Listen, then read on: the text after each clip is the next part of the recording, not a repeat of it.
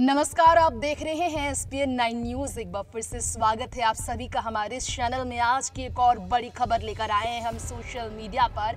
Active रहने वाली एक ऐसी नेता को लेकर, जो कि बीजेपी की एक ताकत है। बीजेपी की एक ऐसी नेता, जो बीते काफ़ी समय से अपने पद को छोड़ने को लेकर चर्चा में है, जिन्हें केंद्र में जगह न मिलने पर तमाम विवाद हुए। सोशल मीडिया पर तमाम इससे जुड़ी खबर आई। कयास ये लगाए गए कि इस बार मेनका गांधी, जो कि विवादों में रही पहले चरण से लेकर आखिरी चरण तक, जिन पर चुनाव आयोग ने भी सख्त कार्यवाही की थी, मुस्लिमों को लेकर आपत्तिजनक स्टेटमेंट देने पर। जी हाँ एक रोड शो के वक्त, एक रैली के वक्त, जनसभा के वक्त। मेनका गांधी का वोट को लेकर बात करना जब पसंद नहीं आया, जिसे लेकर प्रधानमंत्री नरेंद्र मोदी ने पहले ही सभी प्रत्याशियों को आगाह किया था। लेकिन मेनका गांधी से जो भूल हुई, उसी की सजा उन्हें केंद्र से बाहर कर दी गई है, ये भी बात हुई। खैर, बात जो भी हो, फ़िलहाल मेनका गांधी फिर से चर्चा का विषय बनी है।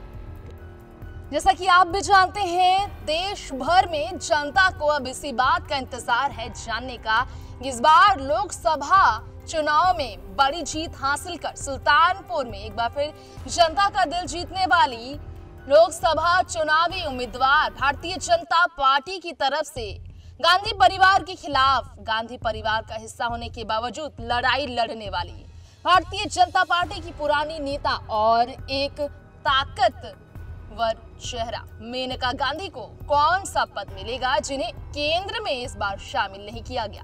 केंद्र में धोखे की चोट खाने वाली मेनका गांधी को, इस्तीफे को लेकर भी तमाम तरह के सवालों का सामना कहीं ना कहीं इनडायरेक्टली करना पड़ रहा है।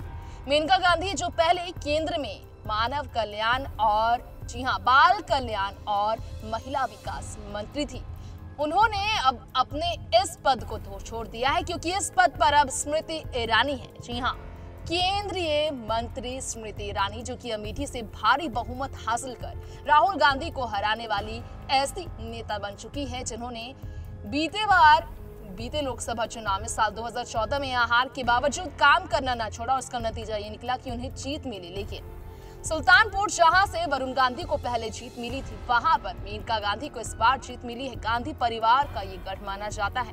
मेनका का इस बार फिर जीत जाना और तकरीबन आठ बार इसी तरह से सांसद बने रहना और केंद्र में जिनका पाँच साल तक कार्य प्रभाव काफ़ी खूबसूरत रहा है। उसके बारे में अगर बात किया जाए तो मेनका गांधी का इस्तीफे को लेकर बात करना अब तक सामने नहीं आया। हालाँकि सवाल ऐसे हैं कि इस्तीफा वो देंगी अपने पद से। नए नए पद के लिए, नए संकल्प के लिए, एक नए ज़िम्मेदारी के लिए, जिसे लेकर वो तैयार है। जी हाँ सुल्तानपुर में वो काम करती नज़र आई है। हाल ही में उन्होंने सुल्तानपुर लोकसभा क्षेत्र को लेकर दौरे पर जाने पर इसकी जानकारी दी। ट्विटर पर इस पोस्ट के साथ उन्होंने लिखा, सुल्तानपुर लोकसभा क्षेत्र के दौरे के दूसरे दिन, ज़िले के डीएम एवं अन्य अधिकारियों के साथ बैठक कर विकास कार्यों की समीक्षा की जनता की समस्याओं के जल्द से जल्द समाधान के लिए ज़रूरी दिशा निर्देश किए हैं। जी हाँ ये वही मेनका गांधी है जो कि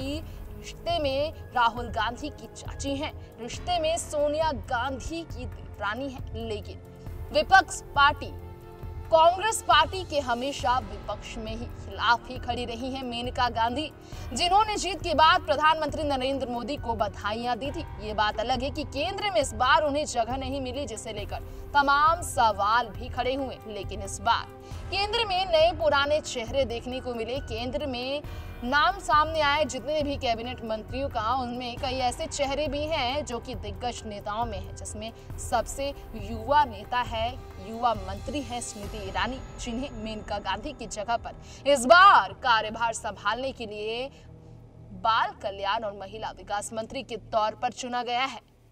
एसपीएन नाइन न्यूज़ रूम से तृप्ति की रिपोर्ट।